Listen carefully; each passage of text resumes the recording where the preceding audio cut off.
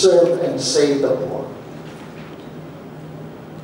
That theologization should be the forerunner of this journey of becoming poor.